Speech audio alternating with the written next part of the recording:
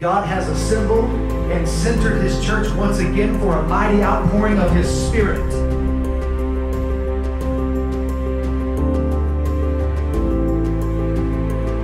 Everyone's welcome, nobody's perfect, and with God, all things are possible.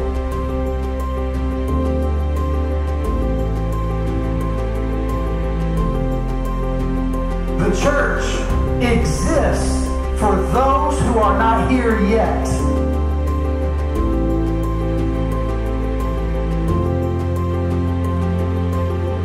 We are the church.